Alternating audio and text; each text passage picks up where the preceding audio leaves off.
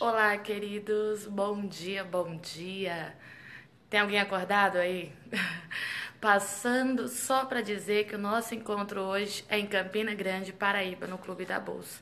E quero aproveitar para deixar uma palavra pro teu coração. Não existe nada que tenha desmoronado que o teu Deus ele não saiba reerguer e deixar melhor do que era antes. A Bíblia nos diz que Jerusalém ela foi ao chão.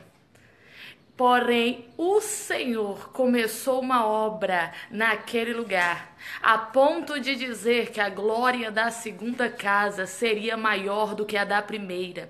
Olha só o que é que papai ele manda te falar. Aquieta o teu coração, porque aquilo que hoje está em ruínas vai ser uma grande obra nas mãos de Deus. E a glória da segunda casa, ela vai ser muito maior do que a da primeira. Aqueles que hoje contemplam o teu casamento no chão, teu ministério no chão, a tua vida no chão, vai ter que ver o teu Deus reerguendo tijolo por tijolo.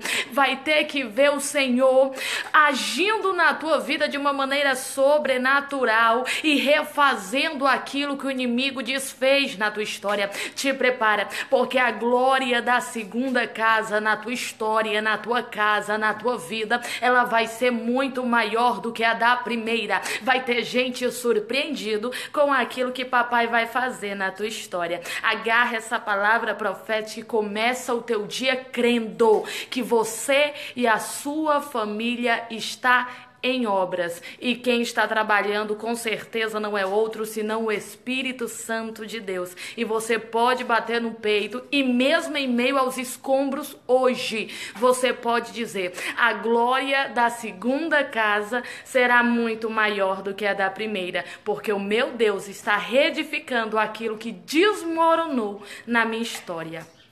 Guarda esta palavra no teu coração. Tenha um dia lindo, um dia abençoado. Que papai seja contigo. Compartilhe essa mensagem com quem esteja precisando. Beijo grande no coração. Te amo.